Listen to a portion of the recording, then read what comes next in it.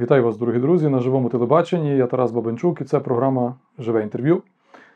Е, Ми живемо в період війни, і е, досвід цієї війни торкається фактично багатьох з нас, фактично кожного, хто проживає зараз в Україні і не тільки в Україні. Е, Війна впливає на нас, але є люди також, які цей досвід війни пережили по-особливому. І це наші військові, це наші захисники. Сьогодні в нас в студії священник, який ще донедавна був військовим і має досвід війни безпосередньо, як її учасник. Е, хочу вас представити вам в студії отця Петра Мадзяка. Слава Ісусу Христу, отче, вітаю. Слава Ісусу Христу, слава Ісусу Христу, дорогі е, глядачі живого телебачення. Сьогодні е, так просто привідкрию трошки завісу. Е, Дуже не любив зніматися абсолютно ніколи, але розумію, що цей досвід, який цей, цей дар життя, який Бог мені подарував, я не можу закрити тільки на собі чи на своїй сім'ї. І це маємо подарувати вам всім. Якщо воно буде комусь корисне, то я надзвичайно буду вдячний Богові за цей досвід. Так, отже, я вам насправді дякую, що ви прийшли. І я думаю, ваш приклад, який є насправді унікальний у нашій церкві, священник, який був також і військовим, вже мав досвід воювати в цій війні. Ем, я думаю, багатьох надихне і ем, передасть, я надіюся, ця розмова людям цю інформацію, яка найбільше їй потрібна, і буде корисною для нас усіх. Е, на даний момент, отже, ви є священником Стрийської єпархії, так, служите в- на Городоччині, е, в селі Вовчухи і Долиняни. Як довго ви вже є священником? Е, Я був призначений декретом на 25 грудня минулого року на саме Різдво. Владика Тараса, Тарас мені призначив на ці два села. То з 25 грудня минулого року Мгм. я вже є парохом на цих двох прекрасних парафіях. І я так розумію, що ви в грудні якраз і отримали свячення священичі, так? Перед тим 9 грудня на, на Анни. На Е, Анни. та, Мгм, я добре. Ем, чи маєте ви також освіту семінарійну? І коли це було? Так, е, в семінарію я поступив у 2008 році, закінчив семінарію у 2016 році, і з 2016 по 2019 включно я навчався в Римі в Папському університеті Академії Альфонсіани на моральному богослові, загальне моральне богослов'я. Добре. Як ви потрапили на війну і коли це було, і за яких обставин? На війну ну нікому не секрет, що 24 лютого 22 року розпочалось, е, відбулось вторгнення Росії на територію України. Як всі люди, я готувався до того, що прийдуть е, е, російські військові, і ми, е, ну мається на увазі, як готувався. Ми робили коктейлі Молотова в себе вдома, там робили ті загородження, всякі там. Тобто ми чекали оборонятися, тобто, щоб десь не хотіли здавати свою землю без бою. Е, Ясно, що сили були би нерівні, але все-таки. І проходить оцей час, особливо перші два тижні вони були, напевно, найважчі для всіх, тому що ніхто не розумів, що відбудеться, чи, чи Україна як держава впаде за тих три дні, чи не впаде. Тобто, але наш український дух дав нам сили витримати, і завдяки тим хлопцям, які полягли в боях, в дуже нерівних боях, відбиваючи цю орду, е, вони подарували нам шанс на життя. І е, я дуже сильно дружину просив, щоб вона виїхала за кордон е, з дитиною. І основним аргументом моєї дружини було: я нікуди не поїду, тому що я знаю, що я за кордон, і ти зразу підеш в воєнкомат, я тебе знаю. І е, це такий та. І потім я, дивлячись ці всі новини, подивився 20, прийшов червень, і ми сіли, поговорили з дружиною. І я кажу: ти знаєш, е, ну я не чую себе чоловіком я мушу йти захищати батьківщину. І дружина мене почула. Та і, власне, 22 червня е, я вступаю, починається моя військова кар'єра. 22-го року. 22-го року, Так. так. 22 червня, 20 так символічно. У мене 25 е, червня день народження, і своє день народження я вже в, е, в Яворові на полігоні зустрічав разом з хлопцями своїми. Е, ці, разом, що ми курс проходили. Е, Переб'ю вас. Ем, Ви на цей момент священником не були. Ні. Фактично, ви з 2019 по 2022 рік. Чому ви не стали в цей момент священником? Ну, це така цікава історія. Я е, не хотів святитися зразу як ну, е, священиче свячення через те, що я хотів попробувати пожити так, як живуть люди, для того, щоб краще їх зрозуміти, щоб ну, десь в своїм е, пасторальній чи пастирській діяльності, щоб я міг їх розуміти. І я працював е, на новій пошті. Я купив такий вантажний автомобіль трьохтонний. Е, Це було маршрут Стебник-Дрогобич. Я їздив. Потім е, я купив ще один автомобіль і вже їздив по Західній Україні, е, возив такі товари деякі. Ну, тобто, життя ніби якби налагоджувалось, але мені внутрішньо завжди не давало спокою те, що я десь не попадаю в ціль. Що, тобто я покликаний до чогось інакшого, але ну, я боявся, щоб воно мене десь не затягнуло. Знаєте, те таке мирне життя. Тобто ви були мирянином, можна сказати, на той момент, коли розпочалася війна, мали навіть якусь свою справу, я так розумію, невеличку, і е, жили в той час на Дрогобичині, так, е, Стебнику. Стебнику, так, місто Стебник. І е, коли в червні вирішили йти, йти воювати. Чи в той момент, коли ви йшли до війська, чи у вас була якась думка про якесь капеланство, можливо, хоч ви не священник? Чи... Тут така цікава історія. Мені е, бути капеланом пропонували в Яворові, е, бо вони знали, що в мене є богословська освіта. А щоб бути капеланом, ти не обов'язково маєш бути священником. Головне, щоб ти мав богословську освіту. Е, Ну, мої питання були: мені три рази пропонували бути капеланом. Е, Моє запитання було: я, якщо стану капеланом, чи попаду я на фронт? Вони сказали, ні, ви залишитеся тут в частині. Я кажу, на жаль, ні, я чітко прийшов сюди, щоб прийти, щоб йти на фронт. Потім в Черкасах, в 167-му такому розпредільчому батальйоні, е, після, після Яворова мене розподілили в 167-й в Черкаси. І там в Черкасах теж вони знали, що в мене є така освіта, і вони кажуть, пропонують мені бути капеланом. Я те саме питання. Вони сказали, я сказав їм ні, бо вони кажуть, що ти залишишся тут при частині. І е, пам'ятаю, той командир е, тої частини, він каже до мене: ну ти дивний чоловік. каже. Ти уявляєш, каже, люди за це готові платити гроші, щоб десь залишитися на якомусь місці. А тебе просто рве десь, е, десь піти на передову, і потім я попадаю вже в свою бригаду, в якої я більше ніж рік від, е, відвоював. Це є 58-ма окрема механізована бригада, 13-й батальйон.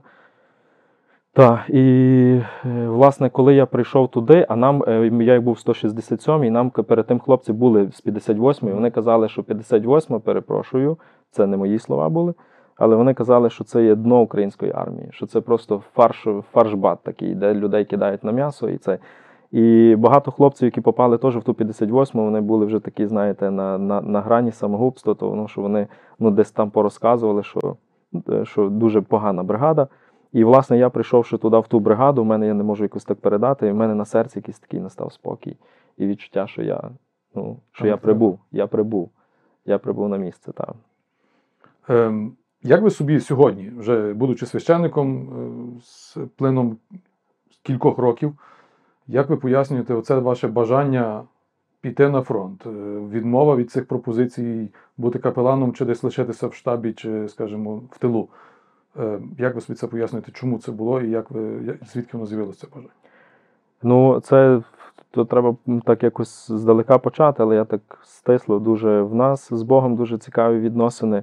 Е, такий ще з семінарії склад і до семінарії. Він якось такий особливіший спосіб мене веде. І в моєму житті дуже багато було болю і страждань. Надзвичайно багато, і не буду розказувати. І я завжди Богові собі задавав питання: Боже, за що ти мене так? І я тепер в сьогоднішній день розумію, що я йому не, не ну, я неправильне питання йому задавав. Я маю йому задавати, Боже, для чого ти, до чого ти мене готуєш. І коли я прибув на фронт, е, е, я, щоб ви розуміли, в мене настільки був сформовано стабільний е, характер, що в мене таке враження, що Бог мене весь час готував до війни.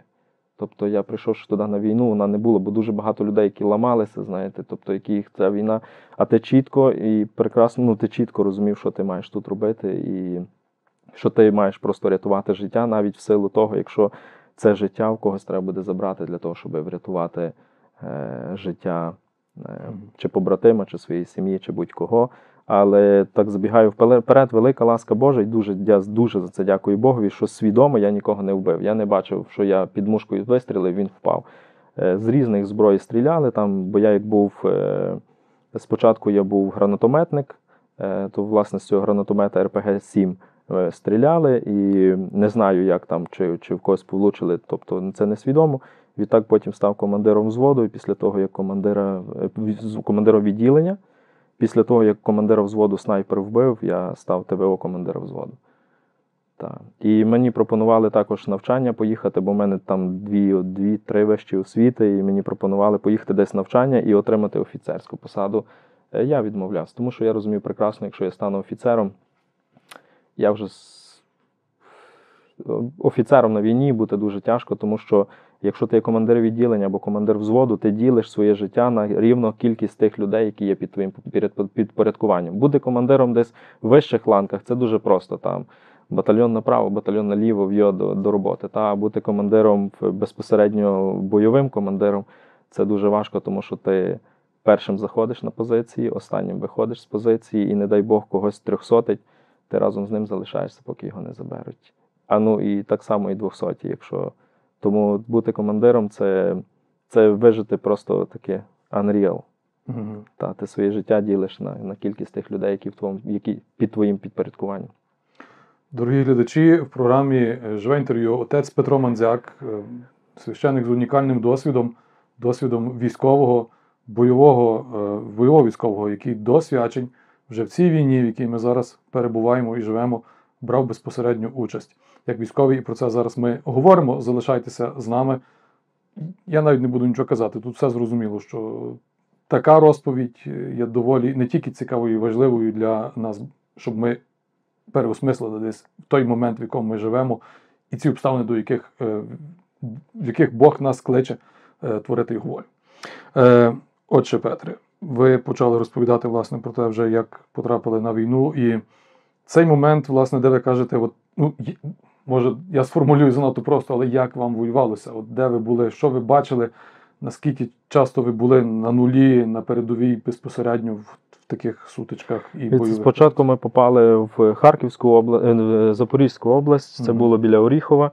І ми, як таких е, участі у бойових діях не брали. Ми виїжджали там на, на першу лінію, е, і ми просто копали окопи. Там, е, там вже досить активно прилітало. Пам'ятаю, один такий, е, ну, військові дуже такі, вони мають цікаве почуття гумору. Такий цікавий момент. Ми копали окопи, прилітає наш град, розвертає установку прямо біля нас, випускає е, снаряди та, і просто складається і від'їжджає. І хлопці кажуть: ого, каже, треба лізти в яму. І направду, після десь після двох хвилин е, прийшла відповідь. е, Ну, вже не по граду, а по нас. Знаєте, та, то так цікаво. То був перший такий досвід прильотів, які близько від тебе. І від цього моменту починається розрізнення, е, вихід, прихід, е, навіть вплоть до того, що калібр снаряду. Тобто, Мгм. без по звуку ти чуєш, е, що це є. І не знаю, бо я ще свою не лапав міну, але хлопці казали, якщо ну так десь не знаю, звідки вони це знають, тому що я думаю, кажуть, що свою міну ти не вчуєш. Тобто, якщо ти чуєш, що вона свистить, значить вона або не долітає, або пролітає. Типу, а якщо ти не чуєш її, значить вона твоя. Але не знаю, звідки вони це знають, бо хто її злапав, то напевно вижити е, нереально. Так, а потім е, ми переїхали власне з Запорізької області, області на Донецьку. І е, приходить командир взводу Юра, позивний Тихий, і каже: ми жили по різних хатах, бо не було де жити. Ми старалися мирних людей не чіпати, жити або там, де нема нікого. Зазвичай ми жили там, де нема нікого. В рідких випадках ми жили з тими людьми, які там жили. Тобто ми з ними домовляли, що ми будемо платити і за житло, і за світло, і їсти їм давати, тому що з харчами там було трошки туго, бо це вже сіра зона. І так, ми приїжджаємо туди, приходить командир тихий і каже: з нашої роти, з нашого батальйону хочуть зробити одну штурмову роту, і треба їхати на Солідар для того, щоб допомогти там 93-й бригаді е, втримати Солідар. І я підходжу до Юри, а він дуже надзвичайно інтелектуальна людина, ерудована, і, але він дуже тонкий психолог. Він такий, як командир, просто Бог війни. І він, я його підпитаюся, кажу: а ви йдете? Він каже: Я зобов'язаний вам то казати. Я кажу, я скажу своєму командиру безпосередньому. Типу. Е, Та я кажу, добре, а кажу, з нашого відділення хтось йде? Він каже, ні, нема нікого. Та я подивився на нього, кажу: та добре, кажу, я згідний піти в штурмову роту. І потім, е, як виявилося, з мого відділення було 13 людей. Він, а він навмисно це не сказав, щоб, щоб на мене не впливали ніякі чинники. Та? І ну, це, це тонка психологія. Він, і ви тепер починаєте розуміти, наскільки це ерудований чоловік був. І я туди приходжу, він пам'ятає, він дуже злий був, тому що його не взяли командиром цієї роти. Взяли другого командира взводу. І він дуже так, це дуже боляче переніс. І, власне, ми висуваємося. І це так, ага, тут дуже цікава історія. Я не попав в цю роту. Ага, вас не взяли Так, тому що забагато людей взяли, Мгм. типу, і мене просто відштовхнули. І я якось так, ну, ну та не взяли, то не взяли, то що. І потім приходить, пам'ятаю, командир взводу в останнім вечором, пізно вечором, десь година 11, і каже: в мене позивний Ватікан був. Він каже: Ватікан, е, ти ще згідний йти в штурмову роту? Та я кажу, ну так а я інакше би не виходив, для чого я виходив. Ну, є, коротше, питання, каже, там одна людина відмовилася, і командир роти тебе кличе до себе. Та все, я прийшов туди, командир роти там такими е, благословляє того солдата, який відмовився, знаєте. І потім каже до мене: ти ж ти згідний? Та я кажу, я би інакше не виходив. Добре, каже, давай. е, Ви міняєтеся, ти йде геть, та все. І вони кажуть, ну така умова була: ви не переживайте, штурмова рота, вас е, нікуди на ноль ніхто не відправить. Ви пройдете навчання, злагодження 2-3 тижні, і тоді вже будуть це. Та добре. Я ліг спати, перша година нас будять.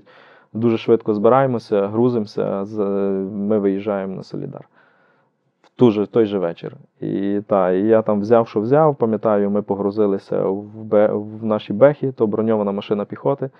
Е, І, власне, ми залітаємо м, по темну в Солідар е, на Артем Сільт на ті шахти. І е, приходить, ми вже собі ніби місця знайшли, де спати, там вже по тій шахті добре прилітало. Там е, проблема так, що в Солідар, в Солідар е, це таке шахтарське місто, і там дуже багато териконів. І Мгм. на тих териконах стояв їхній танк е, російський, і він дуже чітко накривав все. Тобто, якщо наша якась броньована машина виїжджала, він просто клав її з одного удару.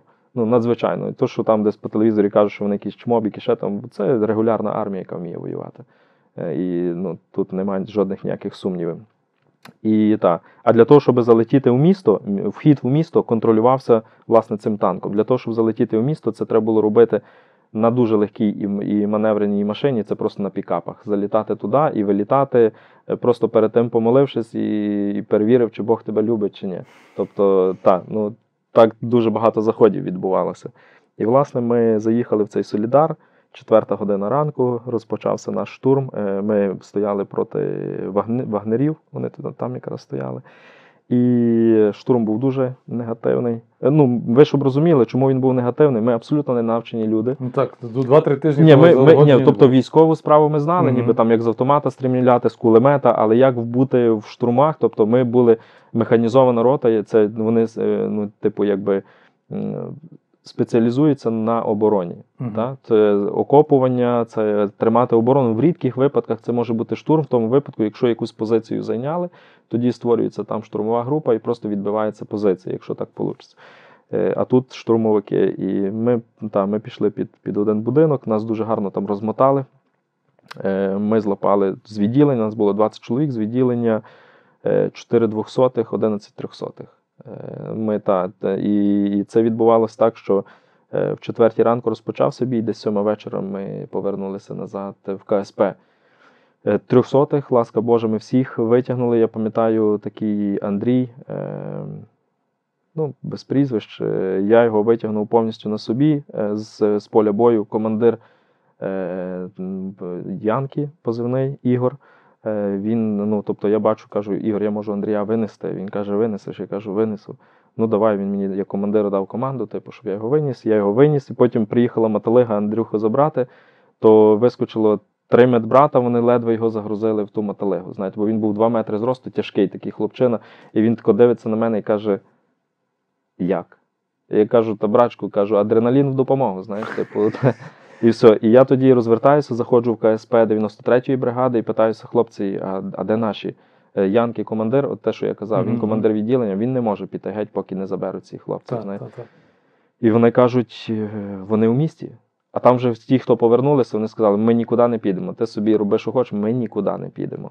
І я просто ну, прийшлось таких пару ласкавих сказати слів. Знаєте, я кажу, хлопці, а слухай, а якби ти там лежав, приємно тобі би було. кажу. Mm. Давай, кажу, маєте, що там маємо? Носілки, ще там щось. В'йо, кажу, у місто.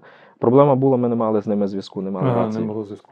І ми забігли в один будинок, другий будинок, третій будинок, і ті хлопці, які зі мною я був, і ще двоє хлопців, вони кажуть, ми далі не побідемо, не, не, не підемо, тому що каже, зараз зайдемо десь до, до ворогів і на тому закінчиться. Типу.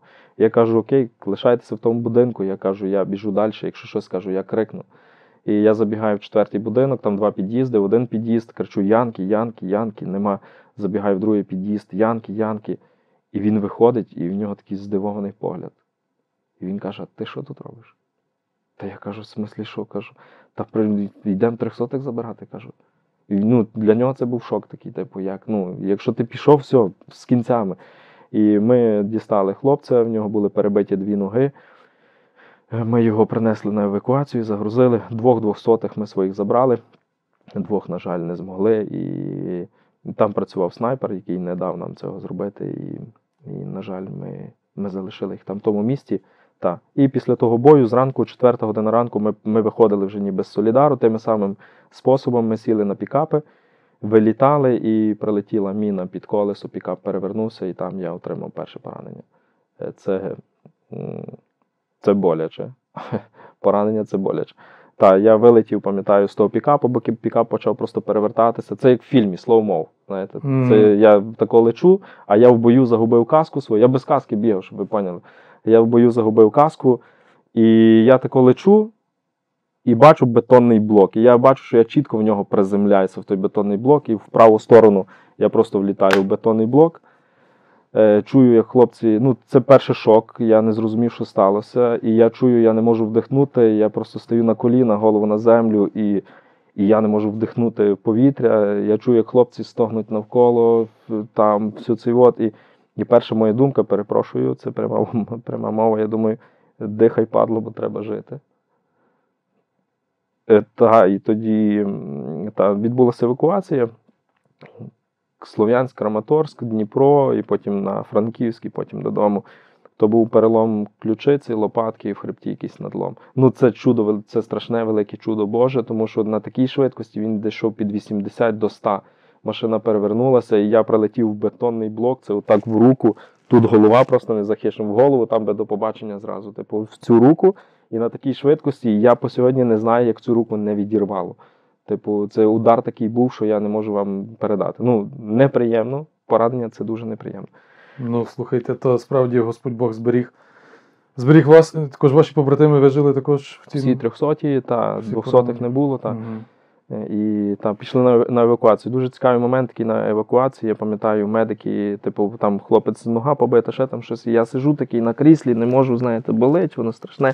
І я кажу до того медика, кажу, я перепрошую, кажу, може, маєте щось вколоти, знаєте, там, е, ну, бо болить, кажу, я просто не, я не стягую, мене болить. І він каже до мене, брачку, ти. Ти, напевно, каже, найкультурніша людина, яку я приймав, бо всі кажуть, там вколи мені щось, бо я тебе зараз застрілю, де той автомат, знаєте, де та граната, а ти мені вибачте, перепрошую, Ага. кажете. І так, я потім знімаю так штани, пояс цього, він каже, а що ти робиш? Я кажу, ну та укол, і він просто тако через штани укол запхав і чую там за пару секунд, о, добре стало. І та, потім ще один такий цікавий момент. Військові дуже мають е, дуже класне почуття гумору. Е, Вони дуже класно вміють е, жартувати своєї смерті. Це не є тема табу, абсолютно. Це, це надзвичайно проста тема, тому що ну, я так передам. Коли я був в Краматорську мені познімали, то все, ага, каже, хлопчина, це був мій кітіль, е, така куртка вже осіння, і він тако хоче різати. Я кажу, чекай, що ти робиш? кажу. Він каже, та зрізай. Я кажу, та брачку, кажу, я роздіну, та ти зараз поріжеш, кажу, хто мені то видасть, знаєш. І це, то перший був такий жарт, а потім мене привезли на рентген-кабінет, то я вже був так по пояс е, роздягнутий, бо була ніби та як ем, підозра на пневмоторакс. Тобто, що ребро якесь пробило легені, бо мені дуже тяжко було дихати. І вона, та жінка мене залишила. Я кажу, пані, я тако обертаюся, кажу, пані, а то морг. Вона каже, та що таке дурне? Кажу, бо я кажу, ви мене розділи і лишили ніби так остивати, знаєте. А потім а, там було так. Я не був такий дуже ургентний, були хлопці, що нога відірвана, ще там щось, і їх попри мене, попри чергу, знаєте. І тут дівчатка прибігли з такою каталкою, хлопчина лежачий, е, забігли туди, виходять з, з, з каталкою вже без хлопця, знаєте. І я до тої медсестри тако обертаюся і кажу, я поняв, кажу, то крематорій. Слухайте, та з гумором. Ну, ми собі тут сидимо і говоримо, і воно, знаєте, сміється, і це добре, що це почуття гумору, знаєте, е, бо я думаю, не одного врятувало і вас не раз, напевно, в цих непростих часах. Але якщо вернутися ще до Солидару, до того досвіду, е, дивіться, ви собі десь е, розуміли, ви казали, ви кажете адреналін. Але от чи ви відчували в цей момент, коли ви верталися, коли ви були тоді зібрані максимально, рятували життя? Чи ви собі пояснювали, що може Бог тоді давав вам сили? Чи ви не мали про то тоді, коли думати, от чому ви це робили? Бо, бо люди дуже по-різному реагують в таких важких обставинах. Дивіться, Ваша я вам скажу, що та, ну, там я чітко розумів, для чого там є, е, і я знав точно, що я під Божою опікою, бо коли я виходив з Солідару, в мене була молитва з Богом, я йому кажу, я йому просто кажу, якщо я тобі потрібен, ну, я просто приймаю твою волю. Що таке прийняти Божу волю? Це просто Богу віддати все. М. і навіть своє життя. Е, та, і там в тому Солідарі, коли я виносив того Андрюху, коли там повертався за хлопцями, то тако відбувалося. Я приходжу там під під'їзд, бо там такий один від, відрізок був між будинками десь 200 метрів. І це найгірший був відрізок, тому що тут був будинок і тут будинок. А ми під тими будинками дістали. І снайпер прострілював це місце. І там треба було дуже швидко пробігти, але оскільки Андрюха на плечах і там багато блоків, е, цегли, там купа всього, це швидко не вийде. Типу, і я пам'ятаю, я впав раз, стаю, дуже тяжко було ставати з Андрієм. Він мене всю дорогу просить, лиши мене, лиши мене. Типу, а я знав точно, бо ми, ми дружили з ним. Я знав побратими, я знав, що в нього дружина і вона вагітна. І я так сміюся до нього, кажу, ти, ти кажу, кажу, дитина, людина завагітніла, а ти що хочеш зараз? Кажу, сморозитися чи що? Кажу, давай, кажу, брачко, в'йот от. І ми доходимо до цього під'їзду. Дуже багато таких випадків, то один з таких яскравих, що я запам'ятав. Я заходив в під'їзд, там хлопці в під'їзді стояли. Я їх попросив, кажу, візьміть, затягніть, бо я не дам сили донести його до того під'їзду. І вони вискочили, затягнули його. Я заходжу в під'їзд і прильот прямо під під'їзд. І залітає весь порох, болото тако, і, і я попав прямо під цей прильот, і хоч би один осколок. Тобто, ну, в мене якесь таке враження, що Бог просто мене куполом накрив, і він мене просто в тому моменті, і десь е, дуже багато таких моментів. І, власне, це поранення, яке я казав, це чітко для мене Божа воля. Е, Бо Бог мусив мені пару кісток зламати, щоб вернути трошки перепочити. Знаєте, перший бій. Мгм. Так і в мене дружина з мене дуже сміється. Вона каже: «М, ти знаєш, тебе би навіть посадили в тюрму, і ти би сказав просто, що я маю бути капланом для військо для ув'язнених. Знаєте, тобто я все, що в моєму житті не відбувається, це приймаю як Божу волю. Наскільки важко це? У вас це прийшло з тим, що ви казали, що ви Ні, мали воно по життю досвід, та, та, чи... та. Бо, бо мені здається, ну, по собі добре, ми відверто нині маємо розмову по собі, скажу не раз. Ну, то порівняно з якимись такими терпіннями, як ви переживали, чи як наші військові зараз, чи взагалі люди мають. Думаєш, та то дрібниця, але так деколи злоститься. Воно тебе так вибиває з колії капітально в тому житті. І ти думаєш, ну от це справді мистецтво, можна сказати, свого роду, коли тобі важко, коли в терпіннях казати Боже, Боже, дякую, чи Боже, ну досвід, поможи мені це пережити. Це дуже важко насправді. І думаю, багато глядачів з нами погодяться. Воно дуже важко, але тут, бачите, тут діє диявола. Він знає точно, якщо ми Богові віддамо все своє життя, воно проясниться в житті. Угу. Тобто відбудеться це прояснення. А диявол нам дає таку думку, знаєте, та що ти Богові будеш довіряти, там, та ти не такий святоша, як то маєш бути, знаєте, тобто він десь нас так Мгм. скручує з цього. Дивіться, я вас би хотів запитати ще такий момент. Продовжимо ще зараз, звичайно, далі. Але от е, ви ще тоді священником не були, але були, ну, я так розумію, ви не, не приховували. Раз вас позвонив Ватикан, що ви і богословську освіту маєте, і в Римі навчалися, і питання оцього е, стосунку з Богом, релігійності, наскільки воно було тоді актуальне серед ваших побратимів, наскільки вони сприймали вас як релігійну особу, чи говорили про Бога, чи які були ці розмови в позитивному, негативному розумінні, чи не було якихось насмішок, чи навпаки, може, були такі, знаєте, звернення особисті, щоб, скажімо, е, з питаннями, які стосуються е, ну, ну, з- стосунків Богом. Ну, на початку, коли ми, типу, не, ма- не брали ще участі в бойових діях, то завжди до мене е, претензії звучали, типу, де твій Бог? Е, На що, ну, типу, він в попередньому інтерв'ю сьогодні скажу, я просто їм казав, хлопці, я тут. Я тут, я прийшов. Знаєте. І та, потім, наприклад, коли вже ми бойові дії, коли, коли ми вже хлопці, ну тобто на бойових е, виходах е, люди запізнаються, хто є хто. І тоді вже твоя дружба, от з першого бойового виходу, те вже дружба переходить в побратимство. Тому що ти чітко розумієш, хто є хто, типу, і, і хто тебе витягне, і з ким ти можеш йти в бій. Так, і на цих виходах, то перший солідар був, я а, за, за те, що за, за моє. В, мен, в нас був такий е, хлопчина, там ще в Запорізькій області, е, Юра Кузьмін. Е, Він, правда, вже загинув, але він е, цікаве його життя було. Він е, сидів в тюрмі декілька разів, і, але мені з ним було надзвичайно легко просто. І я не можу вам пояснити, як він лапав кожну хвилину бути зі мною. Він мені розказував, як він то все крав, як він, типу, як він то все переживав. У мене таке враження було, що Бог йому подарував йому мене, е, щоб е, він просто зі всього життя посповідався. Він просто мені розказував все в деталях. І коли, наприклад, щоб розуміли, там час е, там, з другої по дві години переважно ми е, несли варту. Та? І коли, наприклад, у мене було там з другої до четвертої, в нього там з четвертої до шостої, то він в другій годині приходив і весь цей час зі мною говорив. Типу, в Запоріжжі там не було ще таких бойових дій. Там, типу, ми просто несли варту. Е, І все. І він постійно говорив, постійно говорив. І потім, коли я пішов в цю штурмову е, групу, і Юра приходить до мене, він так плакав, бідний, як мала дитина. Ми дуже з ним здружилися, знаєте. Тобто, і він каже до мене: Ватікан, я боюся. Я кажу, я не піду, та я не штурмовий. каже, я там це. Я кажу, Юра, дивись, Бог тебе довів до цього моменту. Значить, Бог для нас приготував щось для мене, одне для тебе, друге. І потім, коли я отримав поранення, вже був на евакуації, я дізнаюся, що Юра під, е, під Бахмутом вони були в якихось посадках, і він там загинув.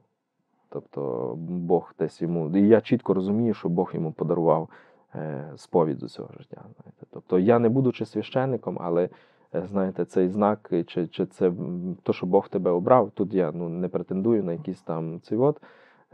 Тут Богові вирішувати, як він, як він. То, то, та. От. І потім вже в наступні, коли я повернувся, я, хлопці, які дзвонили до мене, е, вони вже вчули там, бо не всі знали, що в тому солідарі відбувалося. Вони вже вчули, що скільки там ми зробили, ще там щось, і вони потім до мене дзвонили. Повертайся, бо без тебе дуже туго. Е, Тобто я для них вже став. Після поранення Так, так? ну тобто після Мгм. першого бою такого я вже для них став як такий, як, як талісман. Тобто, Цікаво. вони- так. Ну і як скоро ви змогли повернутися чи поверталися, як це все було після поранення Е, першого? Так, 25.10 це був Солідар, я отримав там поранення, і я повернувся в лютому е, вже на, на наступний місяць, е, ну, на наступний рік, 20, Мгм, Так, так. 23-го року в лютому. Але оскільки я ще мав право на, на 30 днів та як відпочинку, мене відправили додому, і в березні я знову приступив до, до, Служби, до бойових та, безпосередньо. То була е, Харківська область. Е, та. І коли мені ну, там, е, хірург зняв, е, бо в мене був метал закручений, ще там щось, він мені зняв цю металоконструкцію, і він казав: не дай Бог, борони тебе, Боже, е, щось важке тягати. Типу, бо воно як там ще раз зламається, то буде дуже туго. І та, і то таке. то таке. Прийшлося тягати. Так, так, бо ну, то там нема виходу, ти інакше не виживеш. І та, та. потім було, власне, це Харківська область. Е, і після Харківської області ми там мали бойові виходи, але вони такі були відносно, е, відносно спокійні. Та, Мгм. прилітало, загинуло пару хлопців, але таких, щоб, ну, типу, щоб воно так в голові закарбувалося, не було так. І один такий е, кумедний е, випадок з тої Харківської області. Ми йдемо, тобто ми приїжджали на одне й те саме місце евакуації. Тобто ми там вигружалися. Я не знаю, чи командуванню не, вистачало е, чогось змінити місце евакуації, чи чого, знаєте, ми постійно. І москалі чули, вони приказ, бо Беха дуже така шумна машина. І вони чули, як ми приїжджали, вони дали нам вигружатися, і десь за 15-20 хвилин почалися там залпи. Та? І вони нас вітали. Там. Ми так вже прикали, що вони нас вітають, що ми приїхали. Знаєте. І е, кумедний випадок е, прилетіло біля нас е, міна, вона розірвалася, але ласка Божа, то була весна, і земля вже була трошки м'яка. І ну, тобто, просто хто військовий, той розуміє, коли земля м'яка, міна вривається в землю, і вона розкидує у, у скалки як, як, як лійкою. Ага. А коли зима і земля е, тверда, вона влітає в землю і розсіває просто по землі. Зимою набагато більше завжди е, поранень, ушкоджень, тому що земля тверда, і типу і осколки розсіваються просто по землі. І прилетіла та міна, всі впали на землю, замучені вже там, бо треба три кілометри йти пішком, знаєте, впали на землю. І в нас такий Вітя, Афган, він в Афганістані служив старший чоловік, і він кулеметник, і він тако з кулеметом стоїть, просто як йшов, так і стоїть. І ми стаємо, кажу, Вітя, а ти чого не падав? Знаєш? Він каже, я як впаду, каже, я вже не стану. Там, та, тут військові то такі цікаві люди. Та, і потім ми переїжджаємо на Лиманський напрямок, е, е, Серебрянське лісництво. Зараз, до речі, дуже важкий напрямок. І там, е, та, і там, на жаль, оцей командир Юра Тихий, щоб ви розуміли, що це за командир, і йому люди довіряли своє життя. Коли треба було йти в штурм чи в будь-яку там що люди просто питали: Юра, тихий йде? Іде. Я теж йду. Це Феномен. він це феномен. Це просто. Він якби був в якійсь бригаді, там, там, до прикладу, третя штурмова чи Азов, це би був командир такий, що я не можу вам передати. Це... Він загинув? І, власне, ми були на тих позиціях, це Серебрянське лісництво.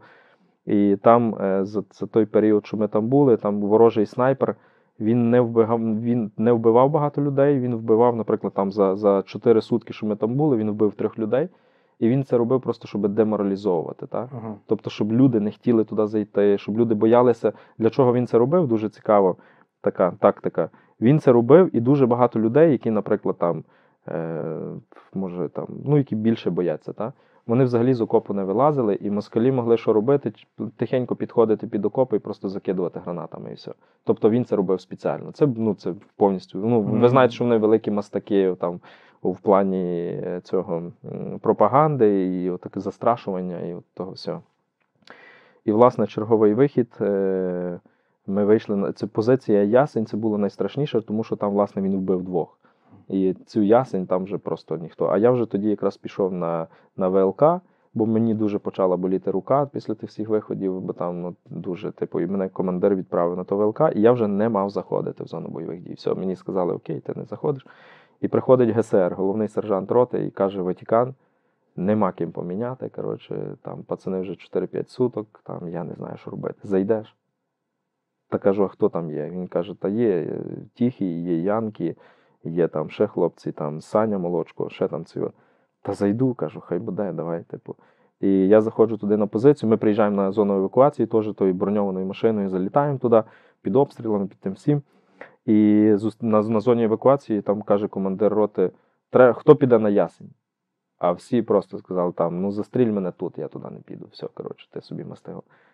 Та я кажу, давай я. А кажу, хто там на ясень? Він каже, є Янки, є тихий, типу. Та окей, кажу, давай я зайду. Та все, я заходжу туди, приходжу туди ну, на, на ці позиції, заходжу в окоп, і тихий приходить в окоп, і він це було таке подібне здивування, як тоді в, е, в Янки, знаєте. А каже, а ти що тут робиш? Типу? Та я кажу, якщо та прийшов поміняти, кажу, цей от. І, там. і тоді відбувся штурм на нас, е, пішла штурмова група. Десь бій тривав приблизно 40 хвилин, ми їх відбили. І вони за, за дві години почали штурмувати сусідню позицію. Оболонь називалася наша ясінь, це оболонь. І вона бій тривав, можливо, до 10 хвилин. Все. Бій затих. Е, Зайшли москалі, ми чули, типу, одиночні вистріли, вони добивали наших. І командир взводу Юра Тихий подає по рації до командира роти. е, Він запросив вогонь на цю позицію, щоб артилерія відпрацювала. Ну і цей каже: А як ти собі думаєш? Юра каже, там наших вже немає. Відпрацюйте артилерію просто, тому що ворог вже зайшов. І ну, ніхто не відпрацював, звичайно, тою артилерією. І ми дочекалися вечора. І вечором нас ем, прийшла, це був вже останній вечір, нам сказали, що ми виходимо з того лісу, так? І вечором прийшла нас міняти друга бригада. І командир е, дуже тяжко ми їх завели, бо це люди, хлопці, які стояли десь на Житомирській області біля Білорусі. Вони майже рік там стояли, тобто вони в бойових діях ще ніколи не брали. І вони прийшли просто як ті писаночки, знаєте. Ти там в зону бойових дій заходиш як там, як останній бомжара. Ти також, що є, мінімум на себе натягаєш, тому що треба буде дуже швидким і дуже мобільним, щоб десь там перебігти, десь там Мгм. що цю. І ми мали там хіба рюкзачок, в рюкзачку, там, наприклад, хто курить, то сигарети, там щось поїсти, отаке. Е, А вони прийшли просто як, як, як, е, В повному спорядженні. як, як знаєте, як, е, як, як, як в ліс на, на, на цей. Такі великі рюкзаки, і я до нього кажу: Юр, а кажу, а як вони збираються? Він каже, я не знаю, типу, я тут вже не цей. І потім я підходжу до тих хлопців і кажу, хлопці, запам'ятайте собі одну таку річ: не жалійте за барахлом. М. Якщо відчуваєте, що не, не втримуєте позицію, тобто не є проблемою відкотитися назад для того, щоб зберегти життя. Типу, не є проблем. Кажу, дуже багато випадків навіть в нас було, що хлопці жаліли там, верталися за якимось рюкзаком і вони гинули. Не жалійте барахла. Що найцінніше, там теплік, ще там щось старайтеся пхати десь в себе, в бронік, десь, щоб ти міг просто стати, відпрацювати. Там, наприклад, бо дуже часто було таке, там три кілометри треба йти лісом, і ти дуже багато бика не візьмеш. Типу, там може пару патронів, ще там щось. І коли починається бій, БК дуже швидко закінчується. Типу, але коли закінчилось БК, ну ти не будеш Ну, патиком так, кидати. так, знаєте. зрозумів. БК це бойовий комплект. Мгм. Так, і от потім е, і ще одне Боже таке проведіння, це і так дуже швидко.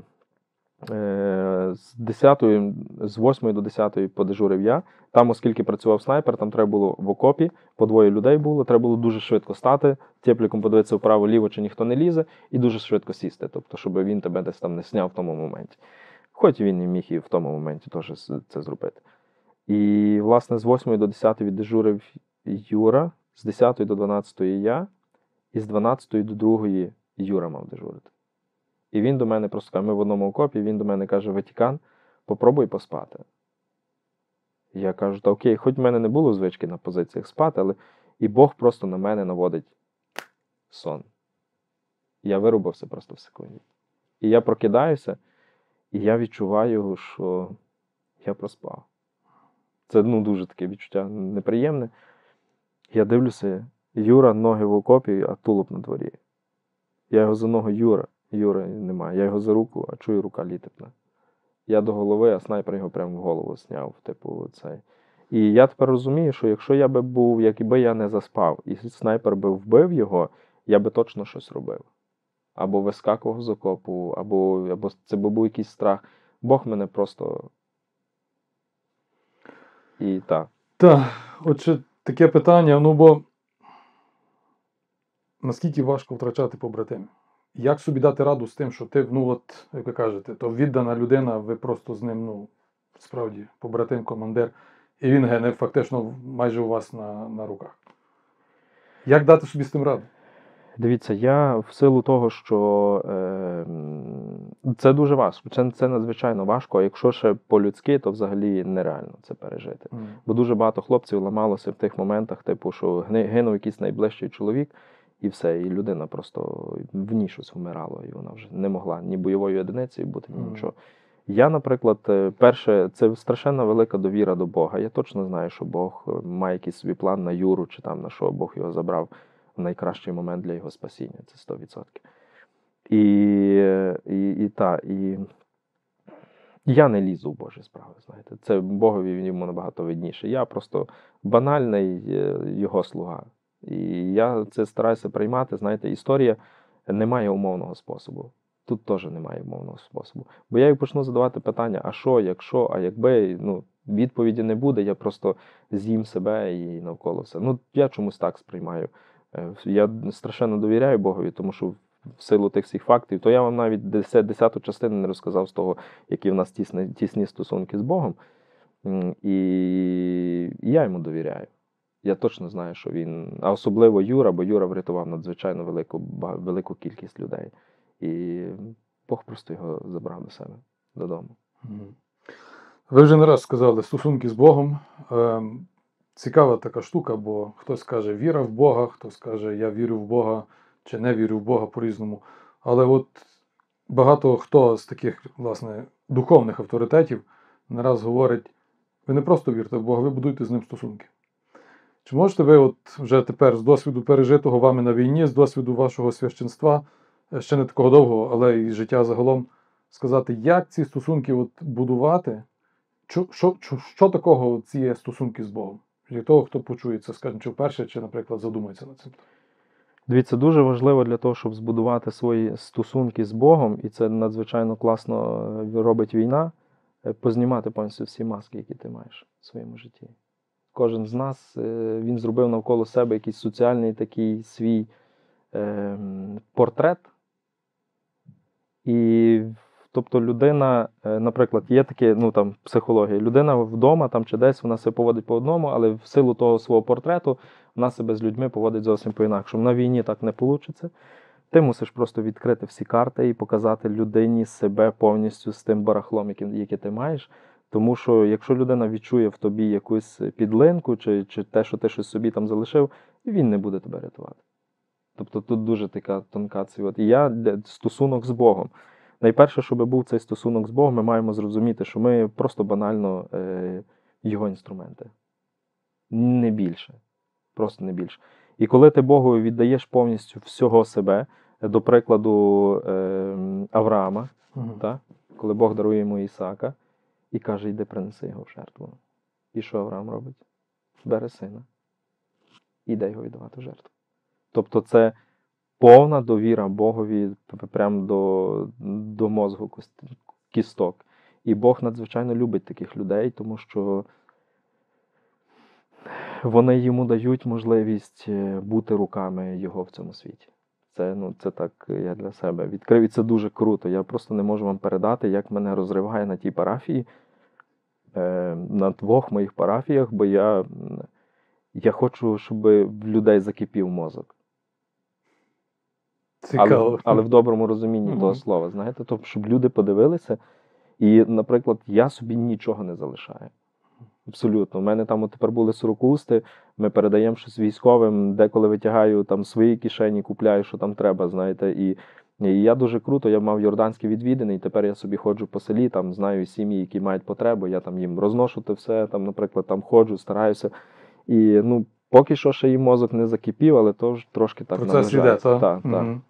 І це ну, мається на увазі в доброму розумінні Ага, того ага. слова, що ти хочеш показати оцей твій стосунок з Богом, що це життя, яке тут на землі для того, щоб, наприклад, дбати щось собі, там хати, квартири, машини, воно не має для тебе абсолютно жодної цінності. Тобто відректися в себе фактично і е, посвятитися Богові, цілковито віддати життя. Так, але людина, бачите, диявол тут залишає, тому що диявол собі думає, ну він, він дає нам таку думку, що відректися себе, то стати монахом, знаєте, чи Мгм. щось там. Або я не знаю, взагалі в бідності жити в нічого не жити, чи ні? Абсолютно ні. Абсолютно ні. Бог е, тобі дає набагато більше, ніж тобі треба. Бо він знає, тобто він є твоїм творцем, і він знає, що тобі потрібно. Не, не просто, бо ми, наприклад, можемо заробляти гроші, так як ви кажете, наприклад, мати все, але все одно відчувати якусь таку нестачу чогось, знаєте, як Мгм. кисню, що ти десь що ти задихаєшся в чомусь. Так? А тут суть в тому, що, наприклад, я не можу вам передати наскільки, і мене просто розриває від Бога. Знаєте, мене, ну, типу, там багато людей питають, отже, ви звідки маєте того часу? Бо ми, наприклад, там маємо такі обриви на парафії е, з, е, з сім'ями інтерв'ю, потім е, хочу зробити зустрічі з сім'ями, тобто мене розриває, я хочу просто бути всюди. Ну, але, Мгм. але ну, типу, Так. в силу обмежень. І та останнє, що таки скажу, таки я завжди з Богом жартую, тому що я йому я прийшов на парафію, там свої всякі були ці от, і я йому завжди кажу: це не моя церква, це твоя. Я, типу, відкритий, я все зроблю, що ти мені скажеш, але давай помагай. Тобто, ну, ми з Богом, ну так грубо скажу, але ми з Богом на ти. Е, Отець Петро Мандзяк у нас в студії в живому телебаченні священник і військовий, який мав досвід, досвід війни. Е, Зараз, власне, отже, я би хотів, щоб ми з вами перейшли все-таки до теми вашого священства. Яким чином ви, власне, завершили свою, е, свою службу як військового? Е, І хто чи що вас привело до того священства? Так, е, тут це, це так коротенько. Я коли в Солідарі отримав поранення, повернувся сюди. Я, на жаль, був дуже дуже сильно зранений. Е, ну, не то, що зранений, а м, правильне таке слово е, вражений. Мгм. Тобто мене просто розривало від вражень. Та мене від емоцій, те, що побратимів втратили, те, що цей бій, цей от. І, і я побачив велику нестачу капеланів, бойових капеланів. Мгм. Та, е, і, і я прийшов там до, до єпископа свого, і, е, на жаль, це моя проблема. Це абсолютно не проблема єпископа. Я, це, я ні на кого не перекидую ніяку відповідальність, бо все, що в моєму житті стає, це все мої проблеми. Ніхто в цьому не винен, то гарантія. Типу, навіть якщо хтось десь завинив, то хай Бог йому прощає. Знаєте, так стараюся жити. І я прийшов і кажу: Владико, проблема є в тому, що хлопці вмирають просто без сповіді, без, без нічого. Бодай без щоб священик закрив їм очі. Я кажу, тут така унікальна можливість. Висвітіть мене, я повернусь туди як священником, буду виконувати свій уряд безпосередньо як священником. І Владика каже: ну добре, як ти собі то уявляєш? І я мав необережність сказати, що Владико, дивіться, в часі переслідування нашої церкви єпископи по тюрмах святили священників.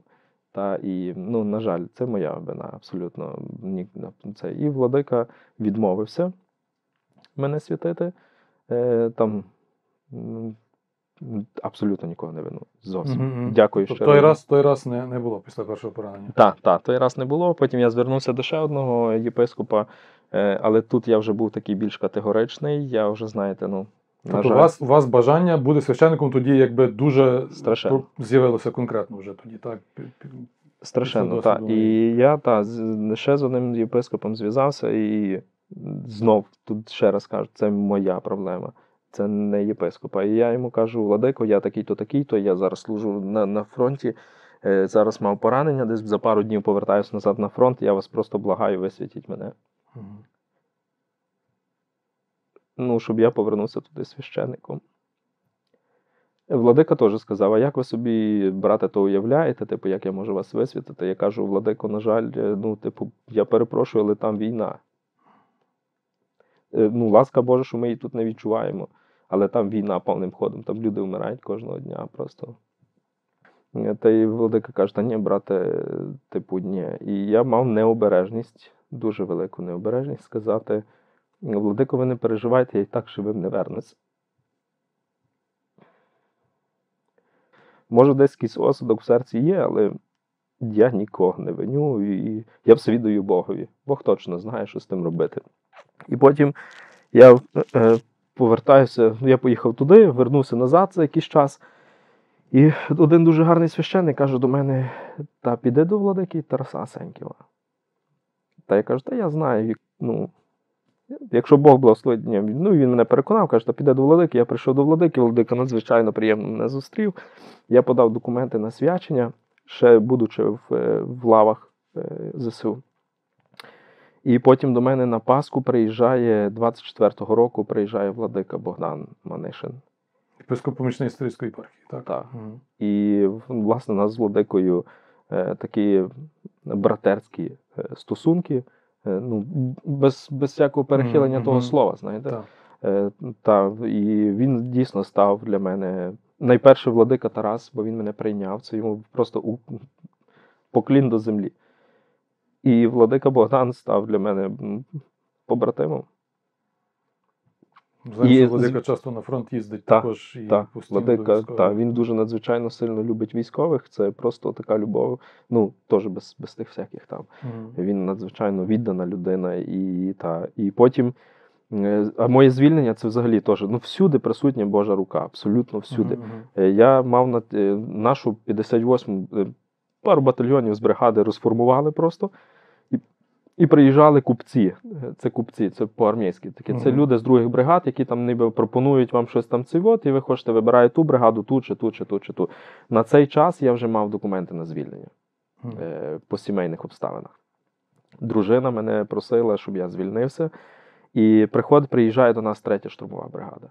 І ми з хлопцями пішли в третю штурмову. Е, там дуже гарно, ми там, ну, надзвичайно прекрасна бригада. Типу, там ясно, що кожен має свої проблеми, але в цілому бригада дуже така бойова. Легендарна, легендарна. Легендарна, Так. так. І мене там призначають е, так як начпродом, нач- продуктового складу. І Я прийшов до командира батальйону е, і кажу: ви знаєте, я в своєму житті, ну тобто я прийшов сюди на цю війну воювати. І я не хочу, кажу, в тилу сидіти. Він мені прочитав лекцію про важливість тилових служб, що вона не менш е, важлива, як, як штурмові служби. Я кажу, я, пане командир, я все розумію, але я чітко маю собі інтенцію, для чого я сюди прийшов. Знаєте. Я кажу, він каже, добре, ви мали поранення. Каже, як я вас можу взяти, типу, після того поранення. Він каже, я кажу, та я вже встановився, все нормально. Він каже, я розумію, що ви встановилися, але все одно це фізично. Вас каже, може дух один, але фізично, типу, це ну ви можете підставити когось потім там з побратимів. Ви, може не дасте ради його винести чи щось там. Це от. Він каже, добре, ви куди хочете? Я кажу, можливо, медичну службу. Хочу безпосередньо просто рятувати життя, знаєте, якщо можна. І він просто каже до мене: дивіться такого. Е, Там багато людей спілкувалися, і там команд... нас в попередній бригаді командир батальйону це був просто. Нам привозили його як ідола. Бачили, так. А тут командир батальйону, це от як я з вами, Мгм. знаєте. Тобто ти можеш прийти з ним поговорити, це просто рівна людина. Та як в Ватикані, знаєте, примус інтерпарус. Мгм. Перший серед рідних, рівних. Та? І це дуже крута штука. І, і там дуже велика довіра до людини, знаєте. Там в попередній бригаді всюди тебе контролювали би, не дай Бог, знаєте, то дорослі мужики прийшли, знаєте, ну, але ну менше з тим. І він до мене каже: дивіться, я знаю, ви маєте документи на звільнення. Послухайте мене, каже. Півтора року війни це немало. Подайте ті документи, я підпишу. Я кажу: дивіться, питання, я ну, знову я йому повторюю за ту війну. Він каже: я вас не візьму нікуди. У нас добровольча бригада, у нас з людьми немає проблем. І тому я не можу вас. Звільняється. Я подаю йому ті документи. Він за три дні підписує цей наказ, е, віддає назад в роту, в якій я був, і ротний мене кличе і каже: Ватікан каже, а ти е, маєш якихось знайомих десь там зверху? Та я кажу, маю, кажу, але не в тій структурі. кажу, а що? Він каже, бо ти перша людина, яку за три дні звільнили. І все, і до кінця тижня я здав всю віщовку, все, все, я повернувся назад сюди, е, в мирне життя. І, власне, теж з Владикою ми зустрілися. Там я поїздив на пару виїздів, там як, як піддиякон, Мгм. бо люди мають подивитися, чи я адекватний. Це нормально, це норм. Знаєте. І потім владика Богдан до мене дзвонить і каже: в тебе свячення. І я кажу, Владико, я не готовий.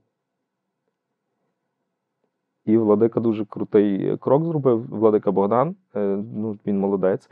Він каже: дивись, е, так, солдат каже. Ти не маєш бути в чомусь готовий. Ти знаєш армійську цю. Тобі командир сказав, ти зробив все. Питання знято. каже. Так що давай, кажу, без тих цивот, готуйся до свячення і будуть свячення. Та, і, ну, перше дияконське, потім священичі. І тут, власне, ця історія, що я розказував, моїм фундаментом покликання це була моя бабуся. Вона мене так вибрала, і вона, вона дуже цікаво, ну те, що я вже казав, вона мене хитро купила, вона давала мені гроші з пенсії, типу, і все завжди, я пам'ятаю, ми з батьками і братами дивилися там якийсь телевізор.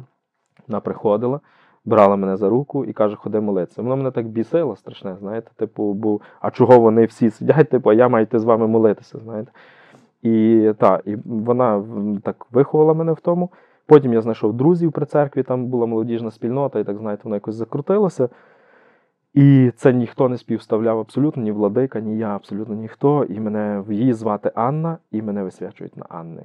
І це ще один Бог мені каже, Бог ще один мені каже: ну, він мені показує свою присутність. Я тут, я поруч. Та, і це дуже круто.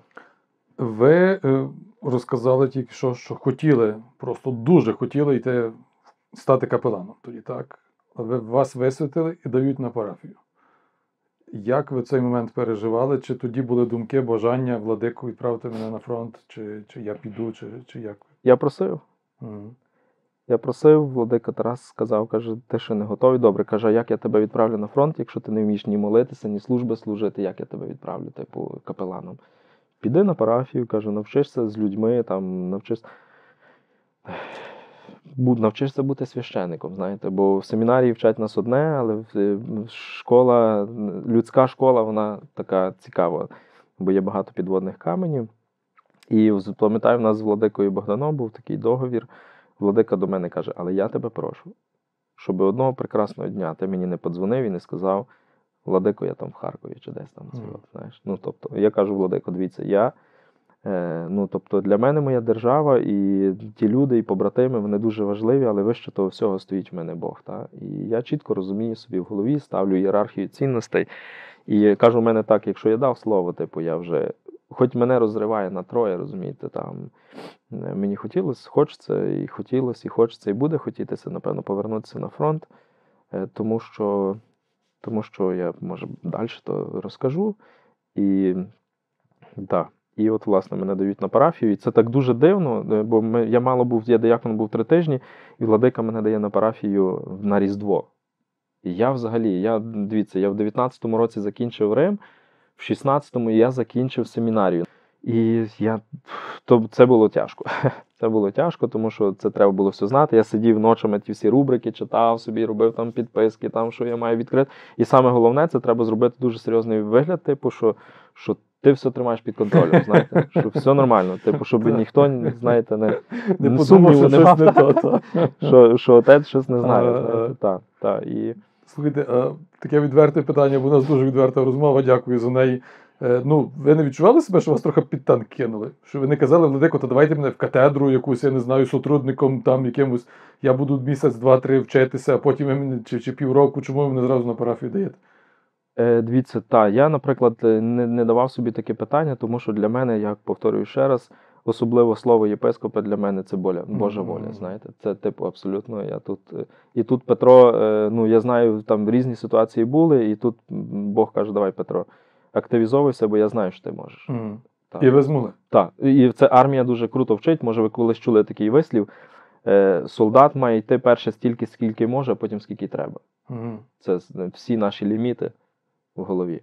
Ми, наприклад, заходили там 3 кілометри, ти вже чуєш, все, я зараз впаду і умру. Типу, я, я вже не маю сили. Але йдеш, і йдеш, і йдеш, і йдеш, і несеш, і йдеш. Людина.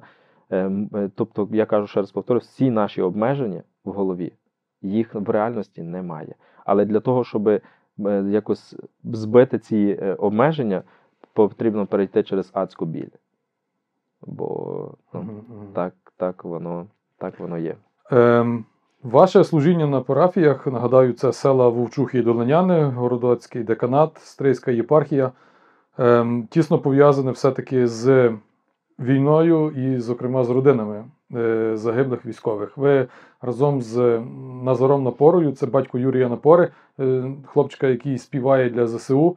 Е, Нещодавно, власне, ми з ним мали також тут нагоду коментар записувати, знайомитись ближче. Ви записуєте спільно також відео, які я бачу, ну те, що ми бачимо, тільки та відео з родинами загиблих про їхніх чоловіків, синів, які на війні віддали життя за Україну. Але я думаю, що тільки певно якась вершина айсберга, яка видна для нас. Розкажіть, будь ласка, про це служіння, і чи ви десь його самі свідомо обрали, чи то так якось також Бог, Бог вас попровадив, що ви фактично є капелан родин загиблих військових? Е, Дивіться, цікаве таке. Одна дуже така. Ну, всі їхні інтерв'ю є надзвичайно унікальні. Це люди титани, це люди, які не жили для себе. Оте, що я кажу, які повністю зняли свою маску і пішли служити для когось. Та? Тобто пішли, віддали своє життя, повністю сакралізували себе до останньої краплі крові. І е, Кушик е, Ярослав. е, Ми тепер мали крайнє інтерв'ю. То щоб ви розуміли, це хлопчина з багатодітної сім'ї. Ну, він в інтернаті виховувався, як ніби логіка каже, що він би мав бути якимось таким пропащою дитиною, Мгм, чи щось там, знаєте, де в житті загубитися. Він на той час, коли він служив в АТО, потім він отримав якусь там десь важку травму, і він мав інвалідність вроді другої чи третьої групи. Тобто він не був придатний до військової служби. І він що робить на початку війни, коли ця війна почалася, він розуміючи, що його не пустять, бо він має інвалідність, він йде е, до якогось там лікаря, не знаю, платить йому гроші, щоб той зняв з нього інвалідність, щоб він написав, що він здоровий. Уявляєте, людина, типу, ну це я не знаю, це, це просто для мене це ну, дуже так яскраво. Всі з них е, це, це під копірку, всі їхні, тобто це є такі їхні ем, особливості, які їх об'єднують. Так? Мгм. Це люди, які тобто, пішли захищати найперше своїх рідних, відтак люблячи свою батьківщину. І коли ти я так трошки відступлю, коли ти слухаєш тепер риторику, що то нехай депутати йдуть, нехай ще там щось. Це просто я розумію, що це риторика надзвичайно слабких людей. Та, тому що а ще така особливість, я як став командиром відділення, я заказав всім своїм хлопцям е, такі е, шеврони, нашивки такі, яких козак був таке лице козака, потім покажу фотографію, і там писало рабів до раю не пускають. Це дуже сильно. Тобто, і я, слухаючи це інтерв'ю кожного з хлопця, він не був рабом. І Бог приймає його. Бо я так ну, я не знаю, чи я правильно це скажу, але моя думка така, що ми не маємо за них молитися. Ми маємо до них молитися. Бо мені здається, що це новомученики нашої української землі тепер у сучасності. Так. Ну і власне це, це капеланство так родин, як воно виглядає, крім того, що запис інтерв'ю, так, бо це я, я знаю, чи що таке писати інтерв'ю, я собі тільки уявляю, і навіть видно по цих відео, як скільки важко тим родичам згадувати десь про це, але і відчувається також певна якась така, я не знаю, атмосфера якоїсь такої любові і того, що вони це розповідають, і їм це допомагає. А знаєте, І- чо, і ну, наприклад, чому вони це розповідають? Тому що вони, е, вони відчувають, ну так грубо скажу, мене своїм. Мгм. Тобто це не прийшов якийсь людина інтерв'ю брати, а Так. це. Тобто я, е, я розумію, про що йде мова, і вони чують, вони відчувають від мене таке круте слово в цьому в, в психології є ем, емпатію. Але не емпатію, просто емпатію, а дійсно людина розуміє, про що йде мова. Мгм. Знаєте, і, та, і, і тому вони десь так відкривають. Не всі, правда, є багато людей, які зболені, але потім ті люди, які записали, які, з якими ми вже записали інтерв'ю, вони дзвонять до нас і надзвичайно дякують. Тому що багато цього, що їх болить, вони це каналізують в тому відео. Та? Тобто вони не можуть це сказати, вони в собі закриваються, і потім багато їхніх сусідів зовсім по-інакшому починають дивитися на них. На жаль, є дуже велика проблема, що коли гине там військовий, і зазвичай е, люди між собою сваряться. Та? Це, наприклад, дружина з мамою цього військового. Не знаю силу якого факту, але був і такий випадок, що подзвонила е, там мама і сказала: Я дуже щиро вам дякую за це інтерв'ю, тому що ми ніби з невісткою помирилися. Угу. Тобто, це і, і я бачу, що ці інтерв'ю мають надзвичайно не перше суспільство, показують, які люди серед них жили, живуть. І потім люди знають, як до цих сімей, тобто, що вони потребують підтримки. Може, вони зовнішньо виглядають, не чіпайте нас, знаєте, але всередині вони страшенно потребують цієї підтримки. Власне, про підтримку. Е, Я би хотів вас запитати з вашого досвіду, і тепер опіки для таких сімей, із того, що ви пережили. Напевно, багато вже з нас ці підходи знають, шукають і розуміють, бо війна триває. Але що би ви порадили, як спілкуватися з сім'ями, які втратили чоловіка, які втратили, можливо, дружину, доньку, сина на війні? Е, Що казати, що не казати? І ну, які може якісь акценти на що важливо е, власне в цьому спілкуванні? Ну, дивіться, е, найперше, що мені надзвичайно ну, якби неприємно, коли ми вживаємо риторику, тобто ми жаліємо ці сім'ї. Знаєте? Тобто жаль. А жаль ніколи до нічого доброго нікого не привів. Знаєте? Е, Ці люди, е, ну я називаю це хлопці, які віддали своє життя Божими ангелами. Та? І, і це надзвичайно мужні, це надзвичайно сильні. Е, Це ну, просто люди титани, знаєте. А ми, ніби суспільство, ставимося до них як Боже, так шкода, бідний такий молодий, знаєте.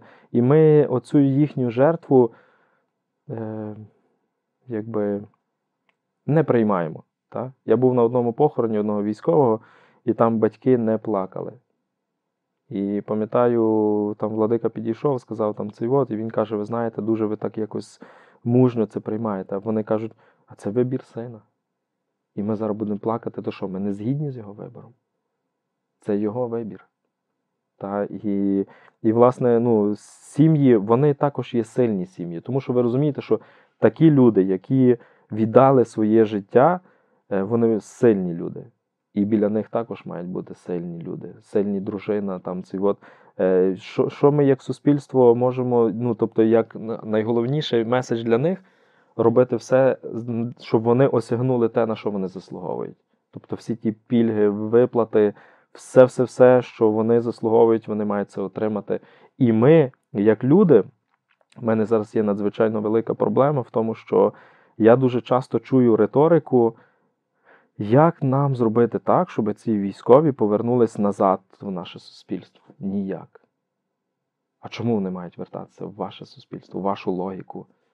Як нам тепер зробити так, щоб ми, зрозумівши цих військових, перебудували країну так, щоб їм було комфортно тут жити, їм, їхнім дітям. Тобто, але, на жаль, я бачу сьогодні е, багато корупції, особливо в сфері ТЦК, розумієте, там ще там щось. Але я розумію, будучи там на фронті, я розумію тут, що оця корупція е, це є ціна чиїсь життя. Якщо хтось десь когось відкупить, чи хтось десь кудись поїде, замість того, щоб поїхати цього хлопця поміняти, там, наприклад, що він мав можливість відпочити, та? бо зараз в мене побратими дзвонять, вони, щоб ви розуміли, 20 суток на передовій. Уявляєте собі 20 суток? А скільки би мало бути по правилах? Ну, там по правил як таких немає. Ми, наприклад, були там 4 сутки на, на нулю, виходили на, на 2 сутки відпочити. Потім воно змістилося, наприклад, там 4-5 суток на нулю, 12 годин відпочинку, тому що людей немає, катастрофічно їх не вистачає, а лінію фронту хтось має тримати. Та? І тому я розумію, що це все, що тут навколо відбувається, ну, я просто мені дуже важко. Е, ну, таке ще запитання на завершення. Е, є такий певний феномен, е, говорили після Другої світової війни.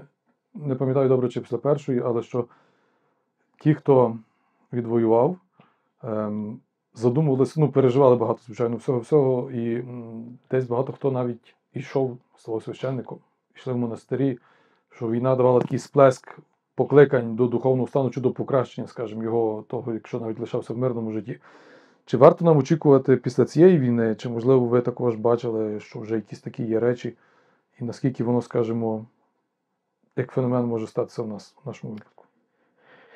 Знаєте, є такий вислів, що в- окопі немає невіруючих, та? Е, там всі віруючі. І, Ну, наприклад, такий приклад, у мене теж хлопчина там з, з з роти, в якій я був, і там був черговий вихід, наприклад, теж були там бойові. І він е, позиціонував себе як атеїст. Мгм. Так. І ми якось вже вийшли, повернулися там в той, в той будинок, де ми ж мешкали. І він каже до мене: знаєш що? Я кажу, що до одного місця той мій атеїзм, знаєш. Він, типу, вигідний хіба в якихось таких мирних обставинах, де я хочу показати, знаєш, якісь, е, ну, типу, та навіть не знаю, що хочу показати. Каже, Я сидів, ексклюзивність. так, я Ну, сидів в тому окопі, каже, я згадував там всі ті молитви, які бабця мене колись там вчила, знаєш. Тобто і цей мій атеїзм до одного місця. І потім ще один випадок, е, оцей е, е, афган, що я казав, і коли я вже звільнився, він мені написав повідомлення. Ну, він також, типу, якби позиціонував чи позиціонує себе як, як атеїст. Ну, тобто, не так, як атеїст, а просто він. Е, Він ну, тобто його пам'ятаю слово було таке, що, що віра для слабких людей, знаєте, ті, які десь ну, хочуть виправдати свою слабкість, знаєте. І потім, коли ми вже цей от, він на свячення, пам'ятаю, він мені нап- написав повідомлення, він сам родом з Черкас десь. І він каже: Ти знаєш, починай добре ставитись до твоєї церкви. Я так розумію, що він приходив десь до нашої греко-католицької церкви. Починає добре ставитись до твоєї церкви. І ще одне каже: якщо ти там є, значить віра в вашій церкві є. Тобто, це, ну, як на мене, це такий дуже сильний меседж для мене був, типу, що е, там. Е, і, та, і, Мгм. я, ну, можливо, такий феномен можливий, але е, просто розумієте, коли ти повертаєшся назад у мирне життя, тебе захлинає багато, ну, наприклад, одна з найбільших проблем. е, Там на війні е, емо, емоції це за дуже дороге задоволення. І ти від них повністю відмовляєшся. Ти себе морозиш, тако блокуєш від всіх емоцій, особливо від там від дружини, від сім'ї. Я дуже часто чув від своєї дружини, що ти дуже холодний став. Типу, ти не дзвониш, ти там ще там щось. А війна дуже ревнива. Якщо ти себе повністю війні не посвятиш, то вона, на жаль, з тобою не рахується. Вона рахується тільки з сильними, такими, які дивляться їй в очі, знаєте, і, і вона з ними рахується. І, власне, а коли ти повертаєшся додому, ті всі емоції, які ти там блокував, вони ніде не ділися, вони такою горою назбиралися. І вони просто на тебе тако навалюються. І ти ще дивишся, наприклад, я в своєму житті теж зустрічав багато таких. Та що ти там воював, чоловіче, тобі ні ногу не відірвало, ні руку не відірвало, знаєте. А потім ще одна така е, людина, то вона каже: я там, е, я там дещо її спитав, вона а що тебе має то цікавити? Я кажу, ну напевно, через те, що кажу, я як е, учасник війни, кажу, маю право вас то спитати. Та що ти там, брачку, що ти то все піхаєш, то всюди, знаєш, ти там учасник тої війни. І це, на жаль, ну, в якийсь момент демотивує того військового, і, можливо, якийсь військовий навіть якусь агресію відчує, знаєте. І плюс того, що на нього навалилися емоції, які він не дає собі з ними ради. Е, Потім е, в нього е, флешбеки, він то йому все його все накатує, розумієте? І він в силу того, що, наприклад, найближчий і найбільш доступніший антидепресант це алкоголь. І він п'є не через те, що він такий поганий, через те, що мозок йому каже, брачку, залий щось в себе, бо я зараз е, просто сплавлюся. Не, витримує. Я просто сплавлюся, знаєте. А люди, які, наприклад, мають таку якусь свою логіку перечекати цю війну і сказали, «Де дивись. Ну, і що з того, що він воював, знаєте. І, і на Ну, жаль, та. розлом. Та, ну е, ніхто від цього не застрахований, але, дорогі наші глядачі, ну просто закликаємо вас і на цих словах, е, що отець Петро сказав. Я думаю, не тільки отець таке говорить. Максимально е, думаємо, думаємо і вважаємо, як ми ставимося до людей, які воювали, які приходять тут в відпустку, які повертаються з війни.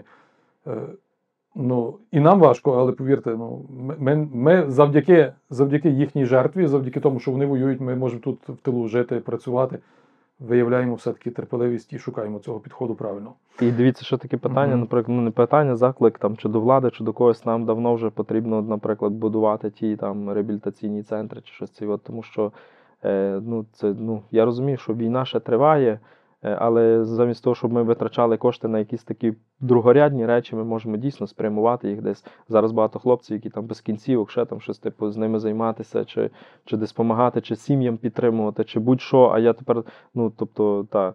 Е, розумію. Це, Мгм. це, нам треба якось повністю переосмислити і робити превентивний удар, а не потім, знаєте, коли військові понаїжджають, і ми будемо думати, а що робити, знаєте. Ну, тобто ми мусимо, як, як держава, як церква особливо, е, маємо, маємо йти на крок вперед, знаєте, не просто десь там е, та маємо йти на крок вперед. А ми, і ми дуже маємо дуже прекрасного і гарного е, помічника і, і такого порадника Бога. І якщо будемо чутливі, він нам підкаже все, куди ми маємо рухатися.